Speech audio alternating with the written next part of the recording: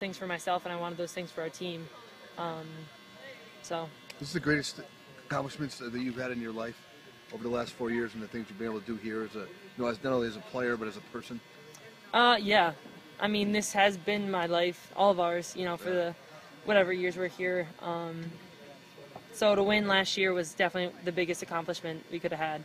Um, and then this year, hopefully, to follow it up with another one would just make it that times better. You know, not a lot of people can say they went to college and won one, you know, let alone for us, hopefully, to get out of here with two.